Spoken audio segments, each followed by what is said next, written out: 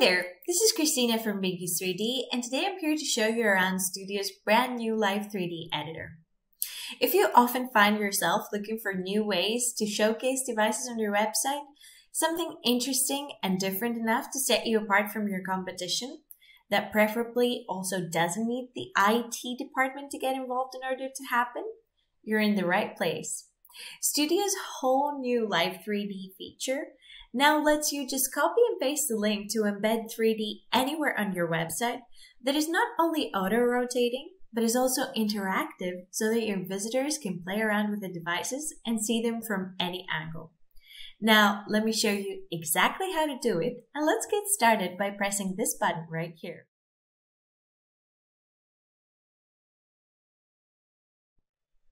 Now, this is what a new Live 3D project looks like by default in Studio.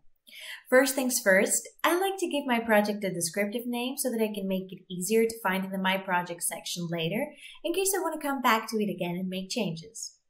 I've already decided that I need a Google Pixel phone to embed on my website, so I'm going to name this project Google Pixel.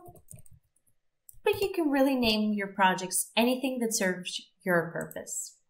To choose a device, all I have to do is click on the default device and open up the catalog right here. The same as any editor, you can choose any of the devices available in the catalog. But if you've already decided on the device that you're using, you can filter out your search by popular category right here, or use a search bar to type in the model that you're looking for. Now I'm going to go for Google and choose the Google Pixel 8 Pro. Of course, the model comes in all the actual variations that is available in real life as well.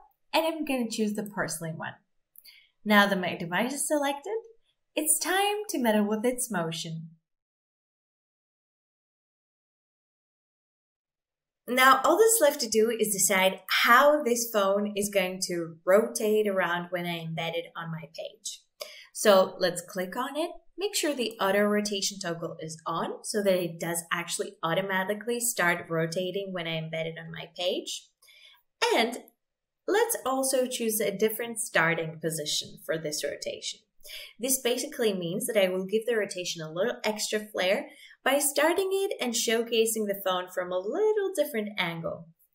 Now, for extreme precision, you can choose to type in numbers right here like that, or you can right click on the device to freely move it around for a little more creativity or even use these handles right here.